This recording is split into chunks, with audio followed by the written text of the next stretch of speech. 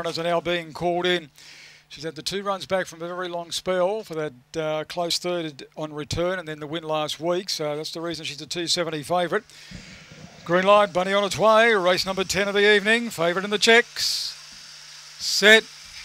Racing Miss Mississippi come out all right with Magic Fiddler and Cosmic Cube in the centre. And Cosmic Cube is going to fight to an early lead from Miss Mississippi. The outside Marie's Fantasy. Three lengths away Magic Fiddler, Rosie's Fantasy, Mount Royal. Well back Duck Feet and last of all Zar Phoenix. The leader Cosmic Cube. Miss Mississippi's looking for the inside run. Got it. And Miss Mississippi raced to the lead. Marie's Fancy the second. And Miss Mississippi wins again from Marie's Fancy and Cosmic Cube.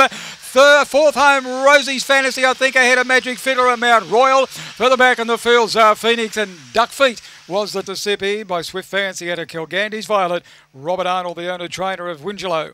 Seven Marie's Fancy second. Vicky Press, five Cosmic 20 and 95. The time, a fraction quicker than last week. Three and three quarters by two were the margins. Three and three quarters by two. Two, seven, five, one after race number 10.